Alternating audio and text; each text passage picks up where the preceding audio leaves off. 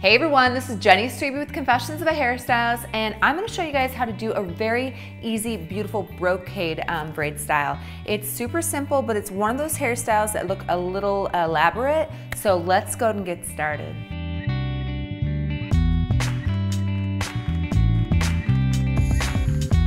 Okay, so to start this look off, what we're gonna do is go ahead and do two triangle sections on each side and create just a simple three strand braid. I always like to use triangle sections when incorporating braids around the face, so it organically kind of flows into the rest of the hairstyle. So this right side's a little bit finer than the left, so I'm gonna take a bigger section on the right. So we have our triangle section, splitting it in three. Now we're just doing a simple three strand braid. You're just crossing it over into the middle.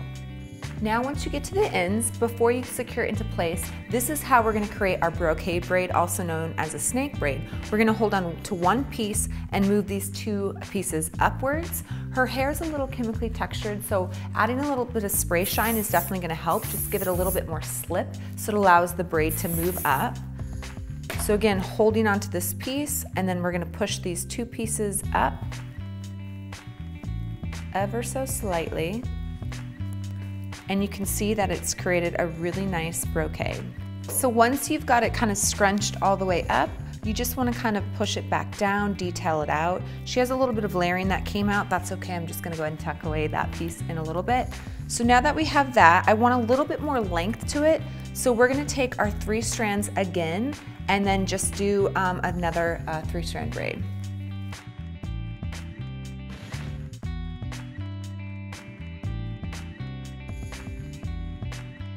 Push it through and towards the rest of the brocade braid.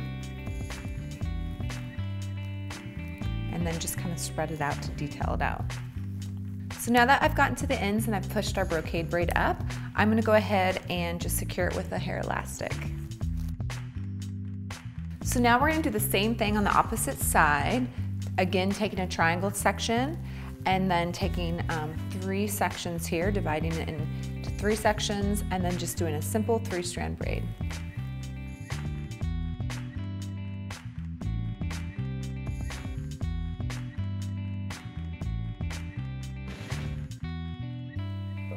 Now that I've gotten to the end, I'm gonna hold on to that one strand, take the other two, and just push them forward. And then spread them out.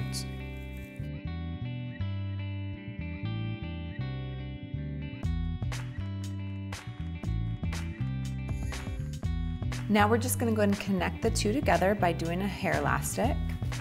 So to finish this off, we're just gonna add some spray shine just to kind of um, smooth any of the flyaways uh, if it created any frizziness, because she definitely has that frizzy prone hair when doing the brocade braid. So we're just gonna go ahead and spray that all over.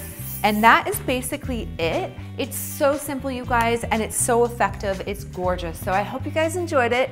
Um, please subscribe to my channel for all sorts of hair love, and I'll see you guys soon.